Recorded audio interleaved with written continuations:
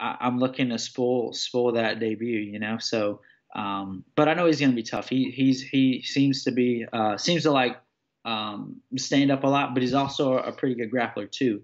Um, I don't think he's that good off his back, which is going to be, you know, kind of which kind of plays in my favor. I, I like being on top, so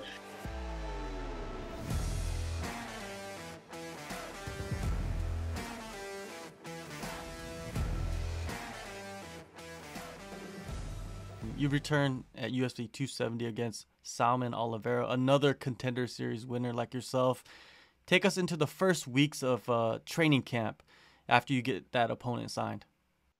Um, actually, you know, as soon as my fight was over, I, t- I took a week off, and um, you know, I was back to working out again. So, so I, I've said this before. My life is almost like a training camp. You know, like I, whether I'm fight or not, I'm fighting or not, um, there's always people that I'm, I'm close with, my friends and my teammates that have fights as well. So um, it's almost my job to make sure that I'm in shape to help those guys as well. So, um, you know, everything's kind of been the same, but once you get an opponent, obviously it, it feels a lot better because now you you can kind of focus on um, almost like just more of the visualization of, of how the fight's going to go. You picture their face on like your on a on imaginary body while you're shadow boxing and stuff too. So um, just once you get an opponent, you know, then you can actually lock in on what exactly it is you should be doing in order to to uh, be successful in the fight.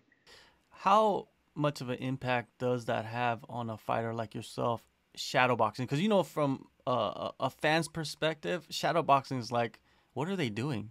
You know, but for a fighter, it's it's a huge part of you know your development. I think it's it's really good because it's it's you know you can you can shadow box and go through the motions and move really slow. When I shadow box, I like to go with the same you know speed and and almost as much power as I would in a fight because that's you know and my coach uh, C Bruno talks about a lot um, you have to miss correctly as well. You know, you have to know how to have your feet under you. And if you're throwing big punches and you're used to hitting a bag that is always there and is always going to keep your weight under you, um, that bag work is good. But um, shadow boxing is important as well because when you miss a punch, which happens, and nobody uh, aims to miss punches, but when you miss a punch, you have to be able to have your feet under you. And uh, that on top of just visualizing the person's face, you know, when I shadow box, I try to I incorporate takedowns, clinch in my head. You know, even me, um, you know, even me on my back, I work to get up. So it looks funny when you when you see someone doing all those different things by themselves, um, like being against the cage and you know on your butt and then working back up. But all of it, all of it's important. It, it's good to visualize and. Um, even when you're not shadowboxing, you're constantly visualizing. You almost become obsessed with um, almost not specifically the person, but their face, and when you visualize the fight. So um, it's it's important that that visualization visualization is very important when leading up to a fight. The faces, Oliveira's face. You know, you look him up. What are your thoughts on him and and his style of fighting?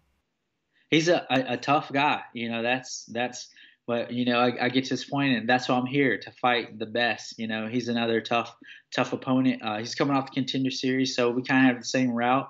Um, he's had a lot of fights. I think he's 18 and three, so he's kind of like me on the contender series. I had a lot of fights already, and um, you know, he, he's an experienced fighter. He's I think he's maybe on like a seven fight win streak, similar to how I was coming off contender series. You know, so um, you know, I, I know he's excited, and I know what those emotions are like getting into the into the UFC, and I still have those emotions. You know, um, but but uh, you know, I, am looking to spoil spoil that debut. You know, so. Um, but I know he's to be tough. He he's he seems to be uh, seems to like um, stand up a lot, but he's also a pretty good grappler too. Um, I don't think he's that good off his back, which is going to be, you know, kind of which kind of plays in my favor. I, I like being on top, so. Um, but it should be a good fight. I expect him to be tough. I expect him to fight from beginning to end. He's a, he's a scrapper and he doesn't quit. So fights like that really really make me excited because I picture myself being the same way. So I don't think we're going to have any trouble finding each other in the middle and being only 30 years old and, and, and a few fights into your UFC career is, is a good spot to be in, right, for your development. Absolutely, yeah. I, you know, I'm, it, it's it's so crazy to think that I'm 30 years old now. You know, I'm used to. Yeah, I can say now. I can say, oh yeah, my 20s, such and such. But um, but yeah, you know, I'm I'm I'm 30 years old, and I have a lot of fights, and but you know, I'm still new. It's still not new, but somewhat new. I'm still I'm still new into the UFC, and I'm still learning a lot. And you know, with the move down to American Top Team, I you know every day I learned that I still have a lot of learning to do, and uh, you know I'm just trying to continue to to soak up as much as I can and to keep advancing. You know, so and and I feel like I can I can still see improvements every day. It's it's an improvement every fight. I feel like I improve. Um, you know, I lost my last fight, but I can see a lot of improvements in that fight as well. Yeah, let's talk about the last fight. You know, what I mean, it didn't go your way. What improvements did you see in that one? I think the biggest thing for me would be um, you know, you, you get so close to finishing a fight, and then the next round, I think I kind of lost focus of the way I got to that moment. You know, I took my time. I didn't load up on punches. I, you know, I, I attacked his legs. I attacked his body, and I, I kept working up. And and I just kind of threw that out, threw it out the window in the second round. You know, I, the whole time I just wanted to hit him with a big shot. You know, which realistically I should have continued to do what got me to that point in the first place. So um, I think that's a learning experience, and that's that's just another you know that that takes some time and some maturity in that level to to understand that um, you know a fight isn't over until it's over. You know you can be as confident as you want with the way you approach it, but until it's over, anything can happen. Yeah, building that fight IQ and, and mental maturity in the fight game. Absolutely. That's so that, that's the biggest my biggest takeaway, you know, that I can take from that. Um, just continue to to um, to do what's making what's giving me success, and um, you know, just continue to mix up, you know, the grappling. I wish I'd have um, probably grappled a little more j- just to uh, you know just to add more elements into the fighting. But um, you know, like I said, now I know the next fight will be different. You know, training camp at the end of the year you know, some places it kind of thins out, right? People are going home or they just take some time off because it's the holidays. Were your preparations any different? You know, did you have any additions or subtractions to your surroundings? No, every everything's pretty much been the same. You know, at American Top Team, there's some people that did some traveling, but we have so many people that even when um, there's so many people that live here and from all over the place, but some people travel, but also there's still a lot of people that stuck around and uh, also have fights because people are fighting all the time. So, um, you know, some people left, but there are probably a good amount of people as well that still also have fights at the beginning of the year. So, um, and I'll have a lot of a, a, good group of training partners who are consistent as well. So, um, you know, it's thinned out a little, but you know, we have so many little guys as well that that there's never any, you know, any like um, lack of lack of uh, partners in, in the gym. Who have been your partners for this camp? Um, so far, um, we have a group of guys that we usually work with. Um, his name's well. These are a lot of guys that people don't know yet, you know. So, they, but they're they're gonna be up there. Um, Sal Guerrero, uh, Jason Eason, Mauricio Gomez. Um, th- those those guys help me a lot. Those are kind of like my my core group, but also work with um, I work with I work with almost everybody. Uh, just had a couple of sparring rounds with Adriano Moraes.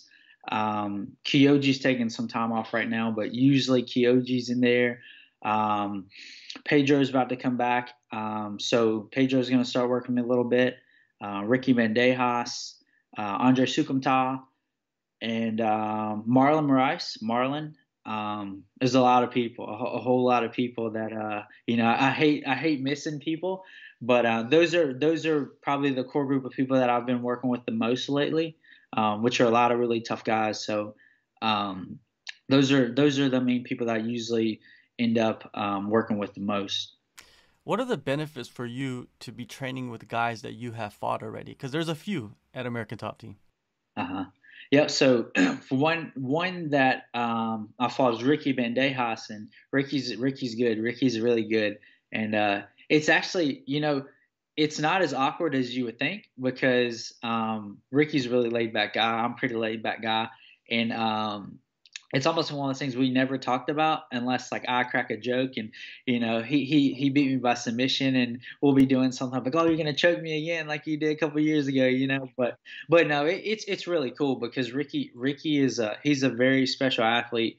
Um, he's a longer guy. He's he's a lot stronger than he looks he looks skinny but he's really strong and uh, he he's a good a good uh, partner to have and Andre Soukhamthath we we never fought but we were supposed to fight a couple times, and he also is another another really good partner. He's and also a really great guy too.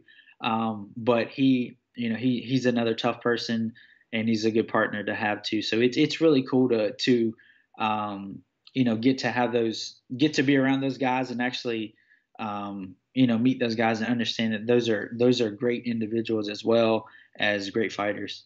Do you guys critique each other, you know what I mean? Because you've prepared for each other. And even though you didn't fight Andre, he's probably seen you from a different perspective and probably told you, like, hey, I see this, maybe this opening, maybe you should look into that. Has, has those conversations happened?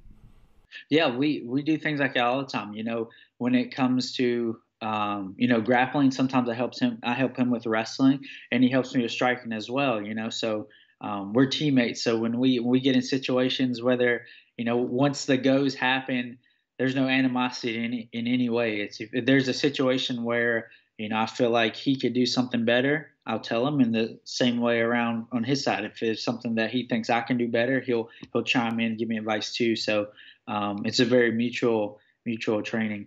It is a phenomenal dynamic of of mixed martial arts, man. I love it. Um, the holidays during the end of the year can be very hectic. How do you handle any of the family or friends obligations during like Thanksgiving and Christmas while you're in camp? It's it's a little different. This this year has been a a, a lot different. Kind of. This is the first time we've actually spent a Christmas um, j- here, just the two, my wife and I, without you know us being with her parents or my parents, and um, so think let's see thanksgiving i think we we we spent thanksgiving here as well. I spent thanksgiving with one of our friends uh, that wrestled with in college carter. Um, but it's it's been different you know we we did a mini uh, thanksgiving christmas type thing um, the i think it was the first week of december. So it was kind of a little bit like a weekend or so of um, a couple, well, maybe like four days of a little bit of both, and it was a little different. But you know, once the fight's over, um, we're planning on going to Universal Studios with family and uh, you know, kind of kind of make up for a little bit of that. That's nice. That's nice. Now, you know, you've always bounced back really strong after a loss. What do you see in yourself or for yourself against Oliveira?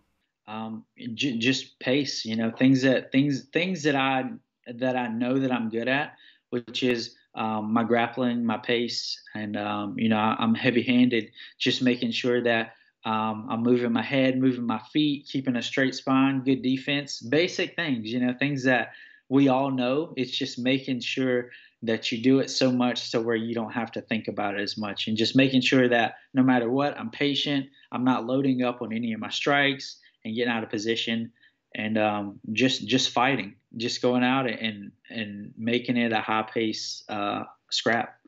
All right, a few more questions before I let you go. What do you think MMA fans obsess about too much that fighters really don't care about? That's a good question. Um, I don't know. That that's a good question. One thing that I I don't know if this really answers the question, but one thing that I think like I think there's a lot of a lot of MMA fans are very um, I guess the best word would be toxic. You know, it, it, they're so focused on like, you know, w- with other sports, it's you got people that are diehard fans for their team, you know, and I feel like a lot of MMA fans are kind of, uh, you know, if they, they're into a fighter, they lose and they're done with them, you know, but that's that's just how the sport goes, you know, and I think a lot of fighter, a lot of fans can be very disrespectful when it comes to the approach of um, you know people losing fights, getting knocked out, etc. You know, I'm not really big on um, memes of people getting knocked out and stuff like that. You know, whether I like the person or not, I, am not really big on uh, you know con- constantly putting someone down for getting knocked out in a sport where I mean anything can happen. You know, so um, I don't know if that really answers your question, but you know, I, I think that I would say that's a that's a big thing. I don't. If, I'm not sure that, like I said, I'm not sure that answers your question. It does. It does, man. It does. You you take the question. You answer the question. It's all good. Um, PTSD in combat sports. You know, there's injuries that happen. There's bad weight cuts. There's damage taken. There's losses. Have you experienced this or seen it in other fighters around you? I haven't personally experienced it, other than the fact that you know if you lose or you're in a situation in the fight. Well, I guess so. There's situations in the in a fight where, um, let's say, like you lose because of a certain thing. You know, in your head, it's not so much PTSD for me, but like a quick reminder, and you get a, a quick flashback, and you're like, oh no, got to fix this. You know, so it's I wouldn't say PTSD in like a bad way, but it's a quick reminder that that um, you know like for example, my last fight, I know for sure now that I'm not gonna throw any big shots. Get it, get wild. You know, I'm gonna stay focused uh, regardless. Uh, make sure I'm not dropping my hands when I'm throwing punches. So that and um, you know, I could see I could see where fighters are like that. I've, I've heard that a lot of times when people get um, like if fighters get knocked out and they've been a lot of brawls, that um, obviously your your chin doesn't your chin and your head doesn't really get any stronger. So um, I know there's some people that are like that, and I could see where somebody could, you know, be be worried that um, that could be the case again. You get knocked out once, and you think, oh man, like, is it going to be that easy? Is it going to be easier the next time? So um, you know that that's something that I that I could see as well as an injury. You see people with um, people break their hands all the time. Maybe they throw punches differently, um, maybe more precise with their punches, and the same thing with kicks and things like that as well. But personally, uh, I've been pretty fortunate to not have anything like traumatic happen to me other than losing, which which sucks. But um, you know, I just learned from those experiences and try to try to make sure that um, the next time around, I can I do my best to not let them happen again. Judging, judging has become a major issue over the past couple of years, especially at the highest level. Open scoring is starting to be used more often now around the world. Would you like the major commissions to introduce it? I think open score it's like bittersweet with open scoring because it's like as a fan, you know, you the the the end is really dramatic when it's like you don't know who won the fight. You have in your head who you think won these rounds, and then when they, especially if it's a split decision, you know, it, it's it's more exciting to hear that at the end. But also from a fighter point of view, um, maybe fighters want to know, you know, if they're winning. Um, I like the old school way just because it's it does add more excitement to the fact, you know, and it probably feels much better when you don't know if you won and then, you know, the scoring comes in and then you win. But also, it would be good to know, you know, whether you're winning or losing going into the third round. You know, you, there have been like, for example, uh, a couple fights ago, my my fight that I had won by split decision, I could have sworn like it was pl- pretty clear cut that I won um, that I won the fight, you know. But it was a split decision, and um, you know that that for example, if someone's that situation in the fight, it would be good to know whether you're down going into the third.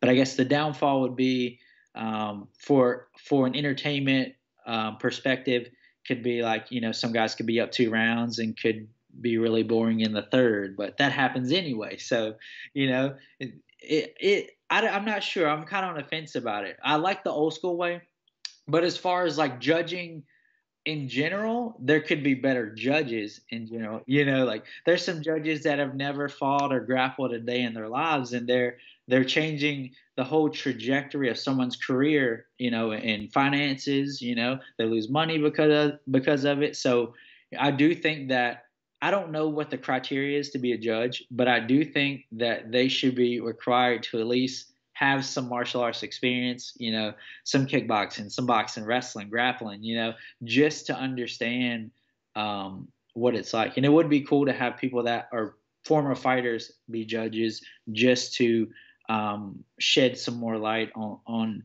what it takes to win a fight and things like that. January 22nd, UFC 270, Anaheim, California. We will see you back in action, Tony. Thank you so much for the time, man. Good luck to you. Yes, sir. Yes, sir. 2022, it's, it's going to be a good year. I, am looking to, you know, get the get it started with this win.